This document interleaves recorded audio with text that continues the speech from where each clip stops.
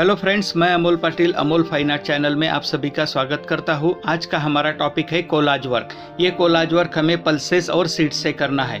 मगर दोस्तों, ये सब डिस्कशन कंटिन्यू करने से पहले आप लोगों ने इस चैनल को सब्सक्राइब नहीं किया हो तो जल्दी से इस चैनल को सब्सक्राइब करें ताकि ऐसे ही नए नए आर्ट एंड क्राफ्ट के एजुकेशनल वीडियो की इन्फॉर्मेशन टाइम टू टाइम आपको मिलती रहे। अभी हम देखेंगे इसके लिए क्या क्या यूज़ किया है। रेड लेंटिल ब्लैक ग्राम, मूग दाल रागी and mustard seeds Fevicol use करके हम इसे पेस्ट करेंगे। हमें कोलाज करना है बटरफ्लाई सिटिंग ऑन फ्लावर। इसके लिए हम लोग बटरफ्लाई और फ्लावर का हल्के से ड्राइंग बना लेते हैं। बाद में उसे ब्लैक स्केच पेन से आउटलाइन करेंगे। ऐसे ही कुछ क्राफ्ट के और कोलाज के वीडियो की लिंक डिस्क्रिप्शन बॉक्स में दी गई है। आप उसका भी स्टडी कर सकते हो।